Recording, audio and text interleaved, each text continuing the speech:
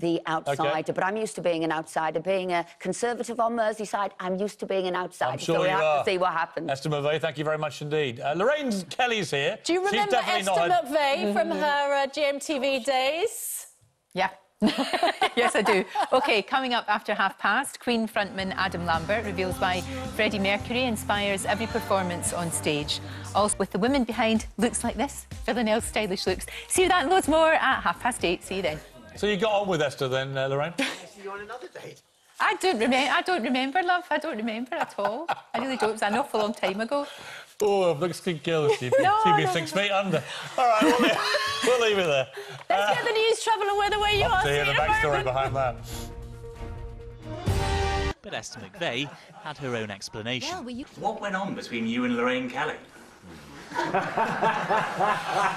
Well, we used to share a, uh dressing room. So, and she used to be the programme afterwards. And uh, obviously, uh, she used to be partnered with Eamonn Holmes. And then I was promoted to be partnering with Eamonn Holmes. And there was another clash at her launch, the event ending in Whatever it was protest. Excuse